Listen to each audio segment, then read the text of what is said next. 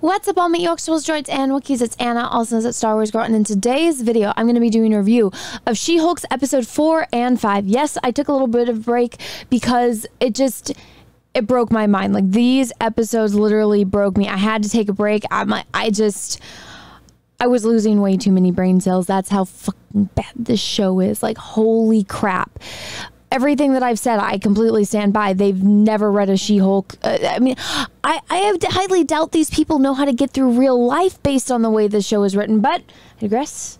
We'll get into that in a minute. So, guys, before we get into that, my channel is Hardcore Shadow Banned here on YouTube. So, every single like, share, comment really, really helps out my channel fighting the pesky YouTube algorithms. And if you guys haven't already, maybe take a minute, smash the subscribe button, ring that bell for notifications. Make sure that that bell is set to all. That way, you actually get notifications because the personalized and the off are basically the same thing. They don't do anything. So, make sure that it is set to all. Now that that's out of the way, I'm about to break my mind doing a review of this, but let's get on to the review.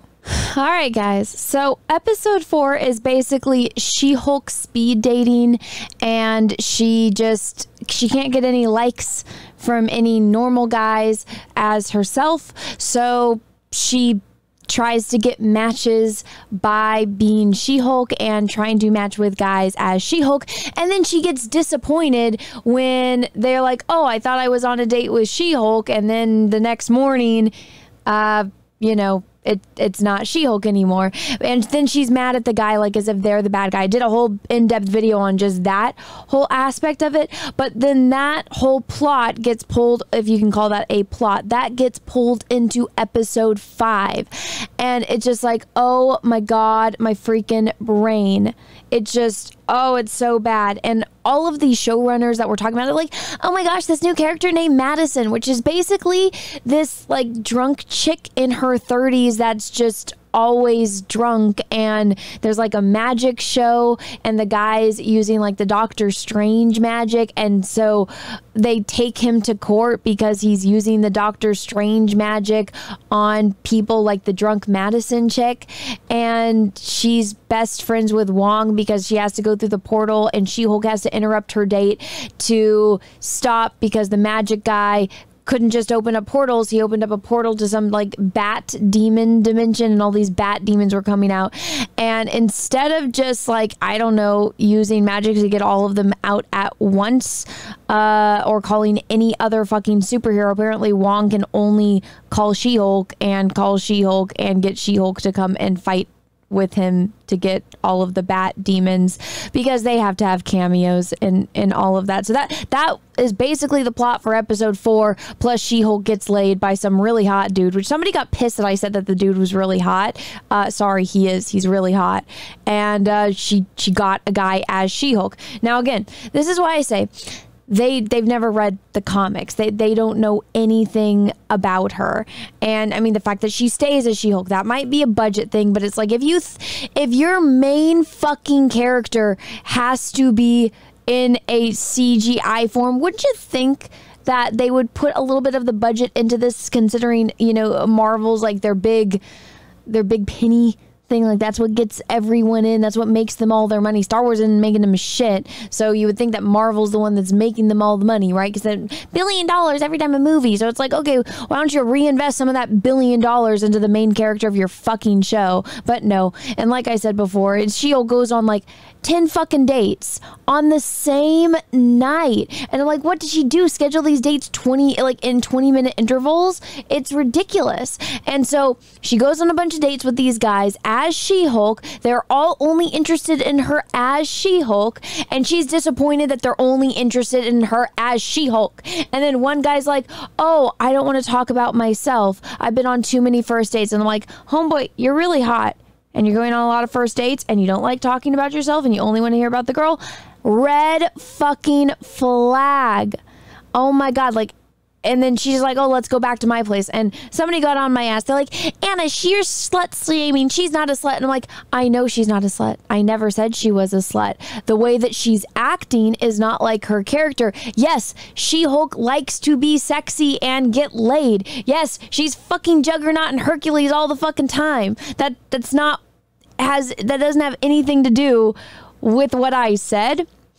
In that situation, they made her seem like I don't know, like a, a dumb just horny chick who's using who's literally using guys for sex and then getting disappointed when it didn't play out the way that she wanted when she was literally she literally just used that guy for sex. And then she's mad that oh he didn't like me as Jen. It's like well no shit bitch. He didn't go on the fucking date with Jen. He was on the same fucking app as Jen. He didn't match as Jen. He matched with She-Hulk and I, I did this whole tweet about it and how like he's not the bad guy in that situation. Like she transformed in front of him. They talked about it. No, she didn't. They they never had a conversation about it. Go actually watch it. She had a conversation with a different guy about it, not him. She's getting her dates mixed up, and so are the people that are complaining about it. So I mean, I don't I don't blame the guy. If you go on a date with Steve fucking Rogers as Captain America, and the next morning you wake up and it's Captain America without the super serum, it's like that's kind of false fucking advertising, right? Like, I don't blame the person, especially when it's like they had no real conversation about their lives, about their hopes and dreams. It seemed to literally just be a hookup. And she's mad that the dude that just tried, that just wanted to hook up with her was like, oh, I don't know who you are. This is kind of uncomfortable. I was on a date with She Hulk and you're clearly not She Hulk now. I mean, I don't blame the guy that that's doing the dude dirty in in my personal opinion. But so then in episode 5 what they do with it is oh, She-Hulk's getting sued by Titania for copyright and it's like Motherfuckers, how many years are we into the MCU? Oh, is it over a decade now? Is it over a fucking decade? Huh. You would have thought that, I don't know, somebody like fucking Iron Man, Tony fucking Stark, I don't know, maybe would have gotten his like. I don't know, Stark Industry lawyers on top of that, they wouldn't just now be having this problem 10 fucking years later. You don't think that any of them, War Machine, a Captain America, Spider Man, uh, Black Widow, Hawkeye. You don't think any of these fucking superheroes haven't had to deal with that? No, all of a sudden, out of nowhere, She Hulk is the first fucking one that has to deal with copyright infringement. Oh my God, give me a fucking break. That, and that's the plot of the episode excuse me i was getting the hiccups. Yeah, that that's the plot is her going to court with titania and the way that she proves that oh it, was my name first was showing her fucking tinder profile with all the guys that she banged or the one guy that she banged and all the guys that she went on a date with and bringing them into court. That was the big gotcha moment. It's like oh let me use my embarrassing dates to win this battle in court. And it's like she got hired by the fucking law firm as She Hulk to be She Hulk and to be the face of the fucking law firm. The law firm would have been immediately like, uh, yeah, no, bitch. No, like, if anything, we own it. But at the same time, you're telling me after a decade of superheroes in this universe, of fucking gods and aliens, coming in and doing all this? You're telling me that there was not some kind of law put into place to protect superheroes so that way this shit wouldn't happen.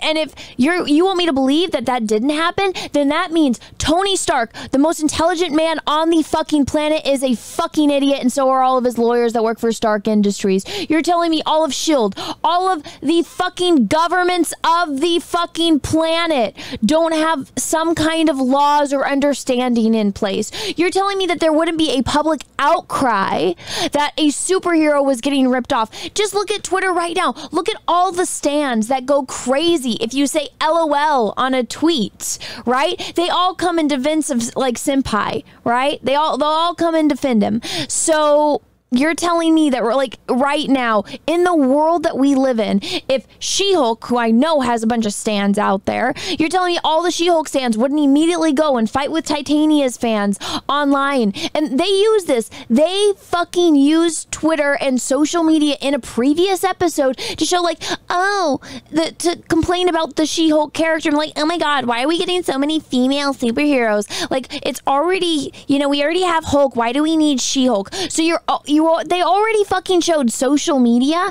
as you know being a tool in this part of the world. So you're telling me right now, if She Hulk's name was you know under some kind of copyright infringement, don't you think the fucking people would be fighting about it on social media? I know for goddamn sure they would. So I like how they use that, you know, that whole plot point in a previous episode and then they don't use it in this episode because that would kind of destroy their entire plot. It, it's so fucking stupid. And then, like, the subplot of this episode is that her friends are going to go get her a suit. But they're like, oh, it doesn't need to be a superhero suit. It just needs to fit her in both bodies. And it's like, Hulk told you in the first fucking episode, it's a little thing called spandex.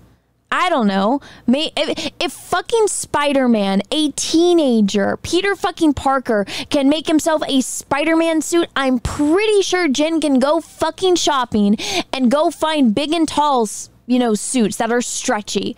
I'm pretty sure she can. And heck, that's a lot of the times why Jennifer Walters is wearing skirts. She's not wearing pants. She's wearing long skirts. And because she's so fucking tall, they fit her like an appropriate, you know, right above the knee or around the knee area skirt that's professional for work. You're telling me that there's no big and tall blouses that she could put on that it's just.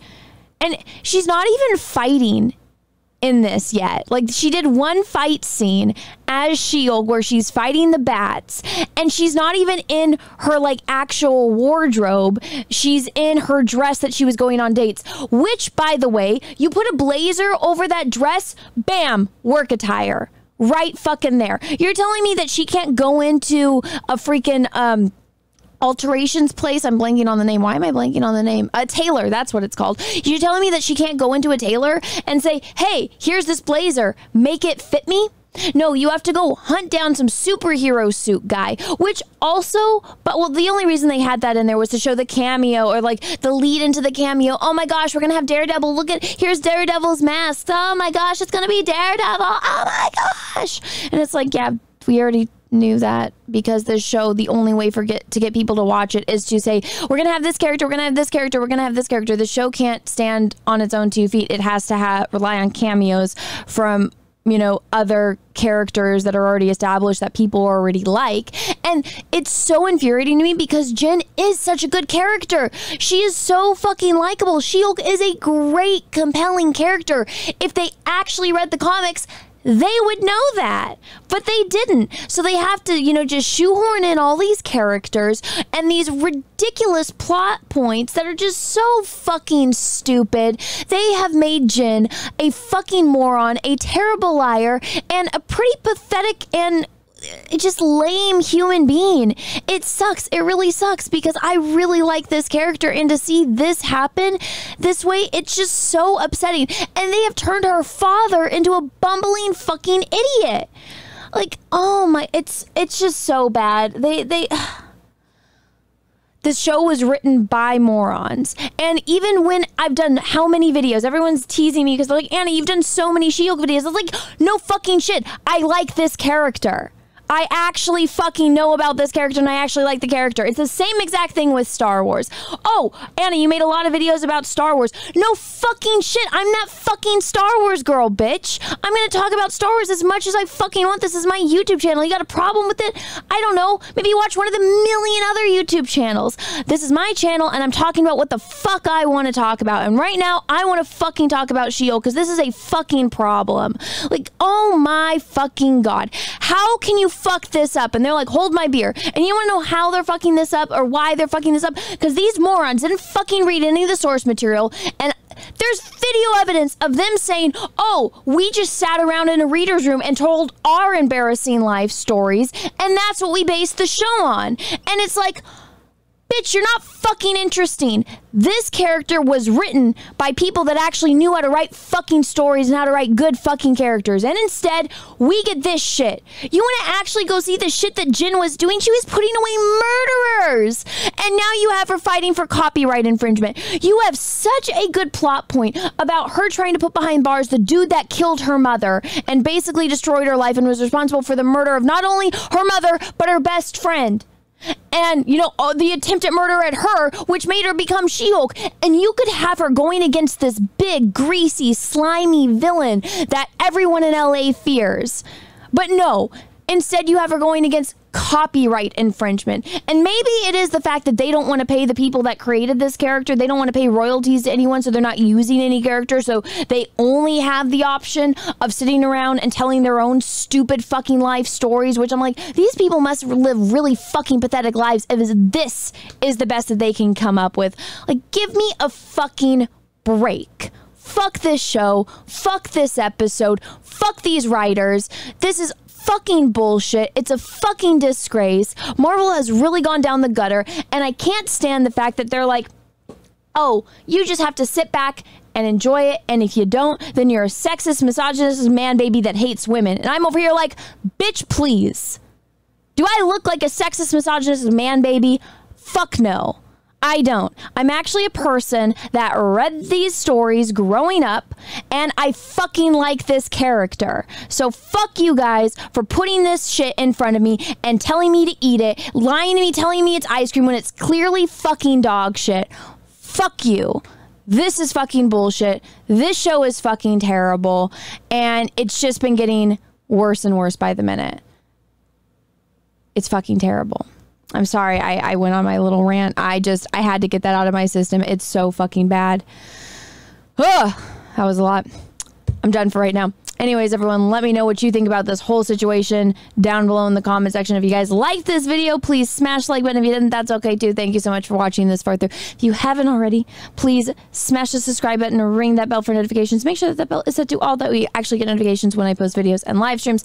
And until next time, I hope you have a great rest of your day, morning, evening, afternoon, wherever you are in the world. And may the force be with you because we are really, really, really going to need it. Bye, everyone. All right, guys, I hope you enjoyed my video. Thank you so much again for supporting my channel and my content. And if you guys would like to support me further, my cosplay calendar, my gamer edition cosplay calendar is live still now on Indiegogo for a limited time only. We were very, very successful in the campaign and we are currently in In Demand. In Demand is only going to be up for a limited time only, so be sure to go check it out before we take this down. And guys, once again, thank you so much for this. If you guys want to go and back back this campaign. The link is down below in the description of this video. And make sure that you guys check it regularly because I do add updates on there and more photos are coming soon. So thank you guys. And last but not least, guys, I have a Twitch that I am trying to go. I am at 5.7k followers right now, and I'm trying to get to 10,000 by the end of the year. So if you guys haven't gone and followed me over on Twitch, go and do so now. The link is in the description of this video. I play a lot of games on here like Elden Ring and KOTOR, so go check it out if you haven't already. And that being said, guys, thank you so much for watching and have a great rest of your day.